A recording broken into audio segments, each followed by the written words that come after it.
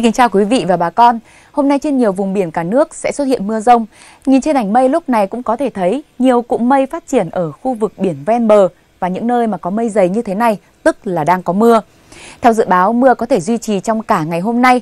Vùng biển khắp từ Vịnh Bắc Bộ trở xuống cho tới Cà Mau sẽ có mưa rông rải rác và trong mưa rông có khả năng sẽ đi kèm với lốc xoáy hay là gió giật mạnh nguy hiểm. Đây là những điều mà tàu thuyền công suất nhỏ cần phải lưu ý, cần phải đảm bảo các yếu tố an toàn khi đánh bắt.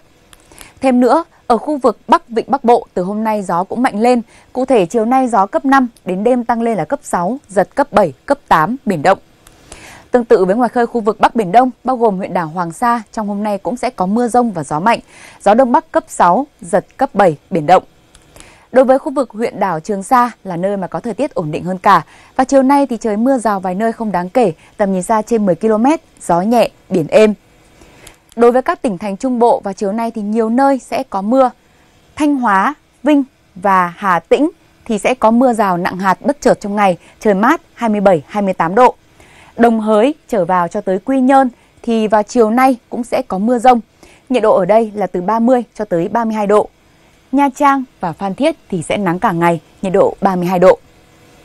Chúng tôi sẽ còn liên tục cập nhật các diễn biến thời tiết mới nhất trong các bản tin thời sự tiếp theo.